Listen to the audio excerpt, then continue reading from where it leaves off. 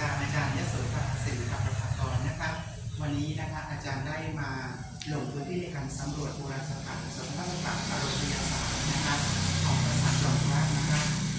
พื้นที่ไม่ไกลนะคะจากตัวองค์ปราสาทจอมพระนั้น เราจะเห็นเกณฑ์แบบจีนนะคะหรือเป็นสันจ้างแบบจีนศิลปะสถาปัตยกรรมแบบจีนประยุกต์นะคะ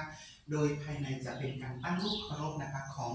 องค์ปู่นะคะซึ่งถือว่าเป็นปู่ตาหรือเป็นบรรพบุรุษหรือเป็นบรรพชนนะคะที่มีความเชื่อว่ามีดวงวิญญาณที่สถิตอยู่ณสถานที่แห่งนี้ ที่เป็นผู้ที่มีบุญญาธิการนะคะมีกริยาพินิหารนะคะแล้วก็ยังวนเวียนอยู่ในสถานที่แห่งนี้นะคะ และท่านก็ได้สร้างปรากฏการณ์ให้เกิดขึ้นกับหมู่คนชุมชนแถบนี้อย่างมากมาย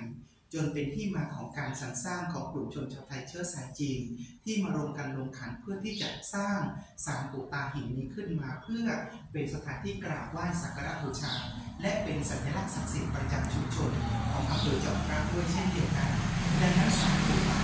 ที่ประทับอยู่ในสถานที่นี้จึงมีความเชื่อว่าท่านมีความศักดิ์สิทธิ์นะคะมีผู้คนหลั่งไหลเขอพรและอธิษฐานจิตไม่ว่าแต่จะเป็นในเรื่องของหน้าที่การงานนะคะไม่ว่าจะเป็นในเรื่องของการทำยูทูบเบอร์นะคะไม่ดังนะคะการทำรีวิวไม่ดังหรือการทำเฟซบุ๊กที่ไม่ดังเห็นหลายคนที่ได้บอกว่าได้มากราบไหว้ที่นี่นะคะ ทุกอย่างก็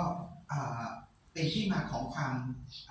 ดีความชอบแล้วก็ดีใจมากนะคะแล้วทุกคนก็มาแก้บนกัน ดังนั้นกลุ่มชนชาวไทยเชื้อสายจีนจึงมีความนับถือต่อองค์ปู่ตามาก วันนี้นะคะอาจารย์ก็มาขอพรกับพระองค์ท่านนะคะให้พระองค์ท่านได้ประทานความสุขความสำเร็จความสมปรารถนา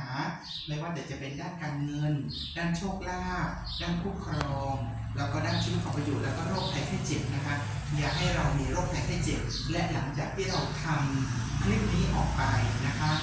ผู้ใดก็ตามที่ได้มาดูคลิปนี้ของเรานะคะ ก็ขอให้เกิดศรัทธา